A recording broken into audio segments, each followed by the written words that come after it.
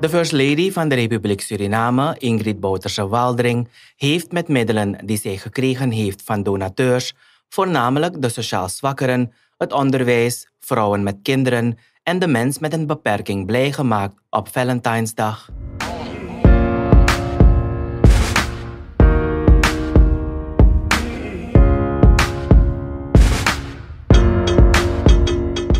Heer, ik ben trots op jullie. U weet, laatst hebben we ook uh, uh, Biggie Boy gehad, waar ik ook heel trots op ben. En ik vind, we moeten dit soort mensen nog meer stimuleren. Het is jammer dat we het niet kunnen, het volledig kunnen, want ik weet, dit zijn hele dure spullen. Absoluut hele dure. Kijk maar zo weinig, het is al meer dan 400 US dollar gekost. Maar ik vind, je hebt het nodig, want anders kan je niet meedingen. Dus voor ons was het echt belangrijk om deze heren te ondersteunen. We hopen dat anderen jullie ook zullen ondersteunen. Zeker. En we zijn trots zijn we en doe je best voor ons in Orlando. Alsjeblieft, succes! Nou, jullie nog zeggen? Uh, ja, um, we willen de First Lady bedanken voor de tijd en uh, ja, inzet dat ze heeft gedaan om ons te, te stimuleren. Het geeft ons een beetje meer, uh, hoe moet ik het zeggen, motivatie om dan harder te gaan werken. Om ons land, niet, om ons land hoog te houden. Geweldig hoor, bedankt. We kijken ernaar. Als je iemand hulpbehoevend is en je hebt niet de juiste tools, maakt het het nog moeilijker. Ik wens jullie natuurlijk heel veel succes verder met jullie matras en dat we natuurlijk jullie uh, dingen een beetje verlichten. Dat is zeker zo. Hoor? Namens mijn moeder en zusjes en broertjes wil ik u bedanken voor het best dat u heeft gedaan voor me. Dank je, alsjeblieft.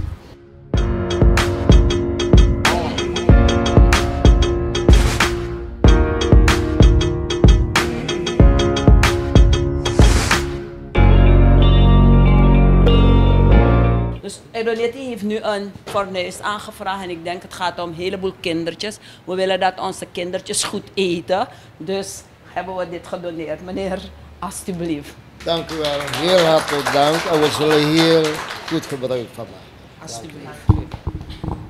Niets is zo erg als je alles kwijtraakt door een brand. Maar ik weet waar u woont, natuurlijk, is niet van haar.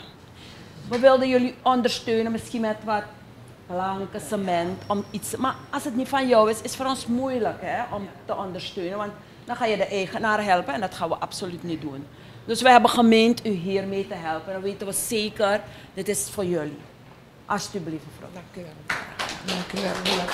Alleenstaande moeders hebben het echt heel erg moeilijk. En natuurlijk, we helpen ze met een voedselpakket. Maar we kunnen het niet elke keer doen.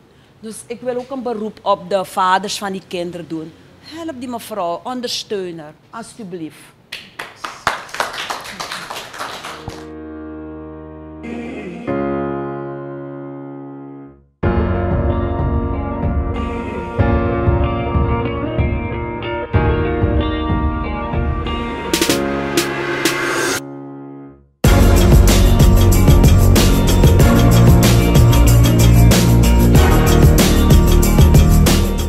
Weet, u heeft het niet makkelijk. En vaak laten de mannen het ook liggen. Want natuurlijk, u bent een alleenstaande moeder met negen kinderen.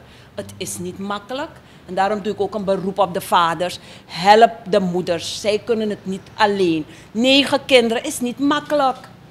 Maar we, hebben geprobeerd om u te helpen. En wij vragen u, doe u ook uw hard uw best voor uw kinderen. Alsjeblieft.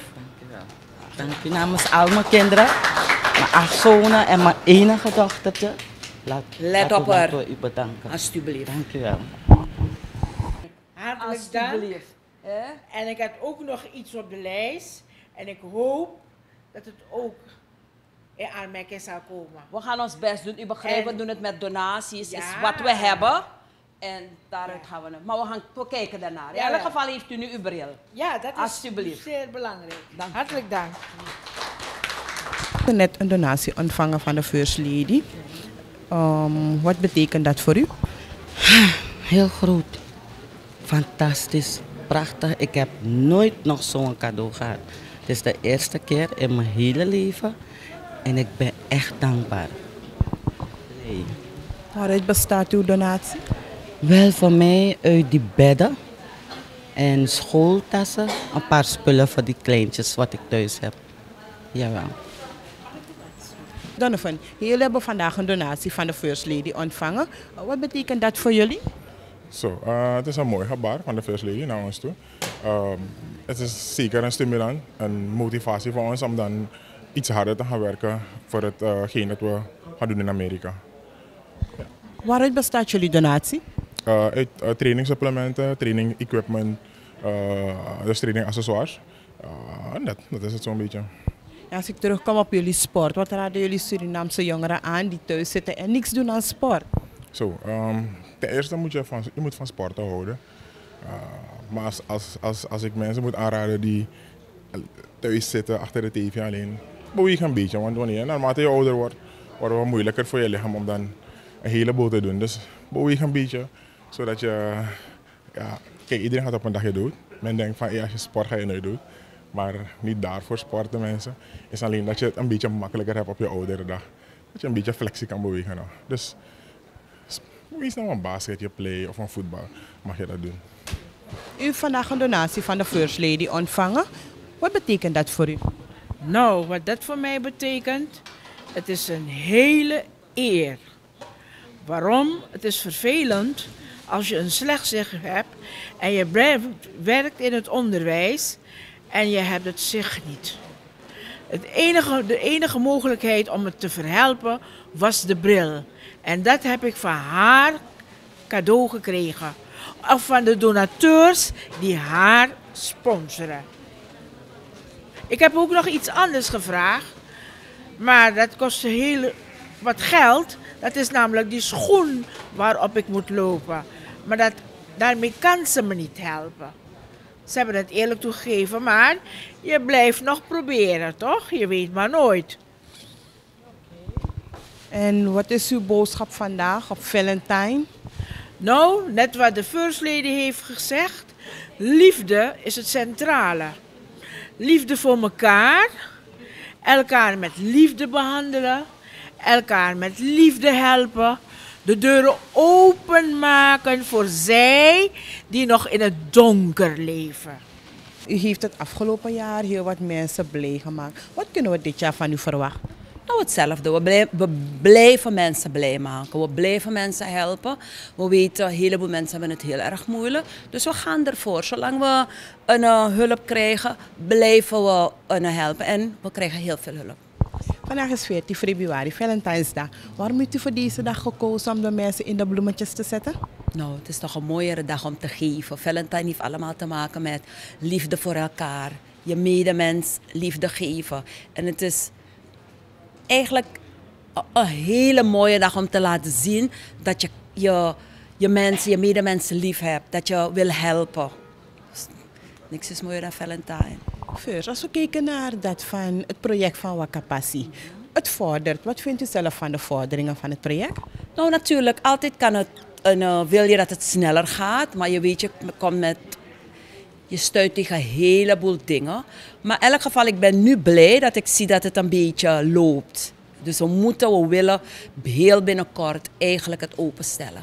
Kunt u de samenleving weer eh, even duidelijk maken van wat die wakapassie precies inhoudt? Nou, die wakapassie is een wakapassie en more. Het gaat erom dat we craftstands gaan opzetten. De mensen kunnen het dan huren en het gaat vooral bij ons om vrouwen. U heeft gemerkt, ik blijf het herhalen, alleenstaande moeders die het echt heel erg moeilijk hebben. Wij willen die mensen een beetje helpen. En dan gaat het niet alleen om Paramaribi. Veel, veelal nog in het, in het binnenland. De moeders die in het binnenland bezig zijn dingen te crafts te maken, te borduren. Misschien kunnen ze dan één keer in de maand komen en hun spullen weet je, te koop aanbieden. Ze kunnen dan voor die dag zo'n stand bestellen, huren. Dat is wat we willen. We willen de, de moeders een plek geven dat ze iets bij kunnen verdienen. Jullie, jullie zien het zelf, alleenstaande moeders hebben het echt heel, heel erg moeilijk. En voor ons is het belangrijk dat we de mensen kunnen helpen. Weet je, dat ze weet je, door een, uh, hun spullen die ze maken, waarmee ze bezig zijn, dat ze het ergens kwijt kan. En het liefst natuurlijk Surinaamse producten. Dat is wat wij willen stimuleren. Ook weet je, Surinaamse dingen. Niet dat ze allerlei dingen van het buitenland gaan kopen en daar te koop aanbieden. We willen dat er heel veel Surinaamse producten te koop uh, worden aangeboden daar. Dan komen we terug op Valentijnsdag. Van Valentijnsdag, je ziet er ieder een roos kopen voor een andere of cadeautjes. Maar kunt u de samenleving op deze dag een speciale boodschap geven? Nou, ik wil de samenleving zeggen, het is leuk natuurlijk als je een roosje voor elkaar koopt. Het is leuk als je laat merken dat je om elkaar geeft. Dus ik wil de samenleving vragen van, kijk waar je woont. Kijk naar, naar je buren. Als er iemand is die het minder heeft, het moeilijker heeft. Vandaag is een mooie dag om te tonen dat, dat je eigenlijk je druk maakt, je care. Je, je, je wil ze helpen. Heel klein ding kan je je buren al blij mee maken. Soms niet eens je, je, je buurmeisje. Iets heel kleins.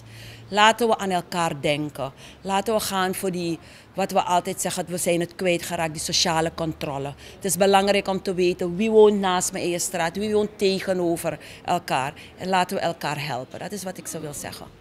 No ansani no de, di migado no man. Endibemek da heimão Nang sabi day. Abelopi sote Agiwi eman pikin Fuden dibri bina in en Kankisi na salfuena Li biftego no drai drai moro, lukuta no mo.